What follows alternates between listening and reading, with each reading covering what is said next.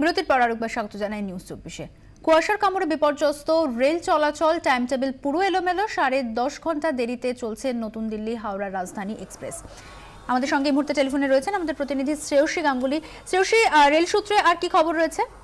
দেখো, শুধুমাত্র যে রাজধানী নয়, রাজধানীর পাশাপাশি কিন্তু প্রচুর ট্রেন মূলত উত্তরবঙ্গগামী বিভিন্ন ট্রেনগুলো যেগুলো উত্তরবঙ্গ, যেগুলো উত্তর উত্তর ভারত থেকে আসছে যে ট্রেনগুলো সেই ট্রেনগুলো কিন্তু এই মুহূর্তে কিন্তু প্রচণ্ড পরিমাণে লেগে চলছে।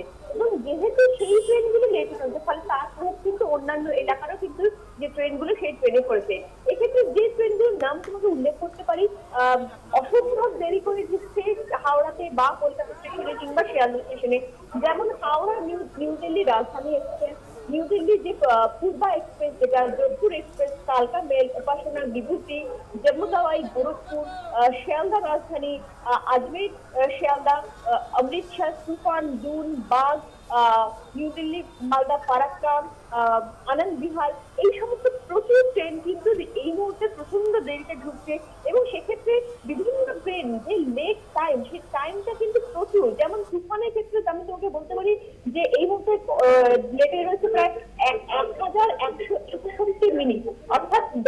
ঘন্টারও বেশি সময় কিন্তু লেটে চলছে। ফলে সেই জায়গা থেকে দাঁড়িয়ে কিন্তু প্রত্যেকটি ট্রেন কিন্তু যথেষ্ট দেরিতে চলছে এবং যে বিষয়টা রেল কর্তৃপক্ষ যারা বলছেন যে এক্ষেত্রে যেহেতু ট্রেনগুলো দেরিতে আসছে, তার ফলে এই যে অর্থাৎ এখান থেকে যে ট্রেনগুলো ছেড়ে যাওয়ার সেই ট্রেনগুলো অনেক সময় ডুপ্লিকেট ট্রেন না থাকার জন্য, কারণ গত কয়েকদিন ধরে লাগাতার চলছে এইভাবে ট্রেন লেট ফলে ডুপ্লিকেট ট্রেন না থাকার জন্য অনেক সময় এদিক থেকে কিন্তু ট্রেন ছাড়তে দেরি হচ্ছে। এক্ষেত্রে যাচ্ছি একজন প্যাসেঞ্জার তিনি কীভাবে জানবেন যে তার ট্রেন কত, কতটা দেরিতে চলছে বা কীভাবে? সেটাতে যেটা বলা হচ্ছে যে তিনি ওয়ান থ্রি নাইন এই নাম্বারে কিন্তু ট্রেন নাম্বার এখানে কিন্তু এই নাম্বার থেকে কিন্তু একজন প্যাসেঞ্জার জানতে পারবেন যে তার ট্রেন কতটা দেরিতে রয়েছে। এছাড়া আর একটা মোবাইলে অ্যাপ রয়েছে সেটা অ্যাপটা হচ্ছে national train national train enquiry service ফলে সেই এই অ্যাপটা এই অ্যাপটা যদি কেউ মোবাইলে ডাউনলোড করে নেন তাহলে তার মাধ্যমে তিনি ট্রেনের গতি প্রকৃতি জানতে পারবেন। ধন্যবাদ, শ্রেয়সী।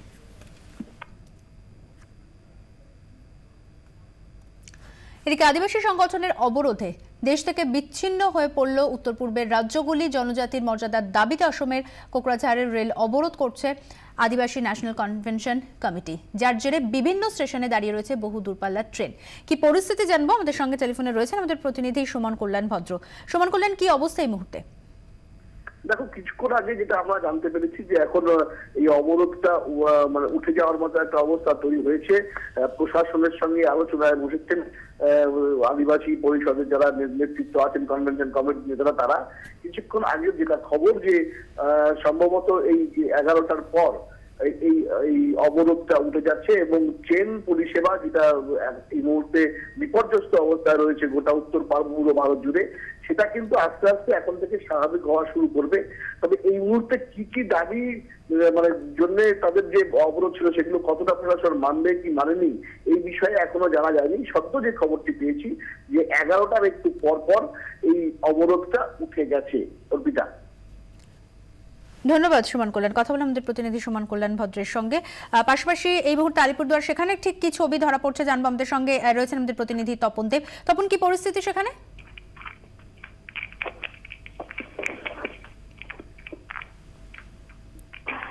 তপন, শোনা যাচ্ছে?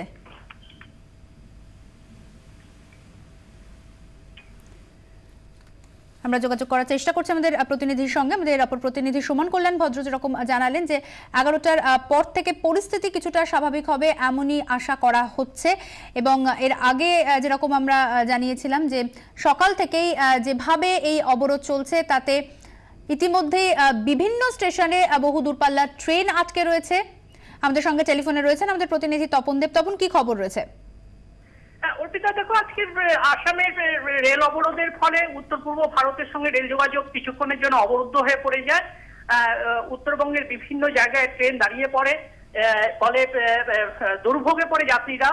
আলিপুরদুয়ার ডিভিশনের যে সমস্ত রেলগুলো দাঁড়িয়েছিল দীর্ঘক্ষণ ধরে, সেগুলো হচ্ছে নিউ আলিপুরদুয়ারে ছিল সরাইঘাট এক্সপ্রেস, ফালাঘাটায় ছিল আপ ব্রহ্মপুত্র এক্সপ্রেস, নিউ কুচবিহারে ছিল দাদর উখার এক্সপ্রেস জংশন আলিপুরদুয়ার জংশনে ছিল। আপ চন্দ্রনগর এক্সপ্রেস এই সমস্ত ট্রেনগুলো সব দীর্ঘক্ষণ দাঁড়িয়েছিল প্রায় ছটা থেকে বেলা এগারোটা পর্যন্ত। এনএফএল সূত্রে জানা গেছে, এগারোটা পাঁচ থেকে অবরোধ উঠে যাওয়ার পরে ট্রেনগুলো আস্তে আস্তে ছাড়তে শুরু করেছে। এখন এই মুহূর্তে ট্রেন কিন্তু যাতায়াত শুরু করেছে। অর্পিতা? অর্থাৎ আরও কিছুটা সময় লেগে যাবে, পরিস্থিতি একেবারে স্বাভাবিক হতে। রেল সূত্রে জানা গেছে যে ঘণ্টা খানেকের মধ্যে এই সমস্ত রেলগুলো স্বাভাবিকভাবে চলাচল করবে এবং তারপরেই স্বাভাবিক রেল রেল যাত্রা স্বাভাবিক হয়ে উঠবে। ধন্যবাদ তপন।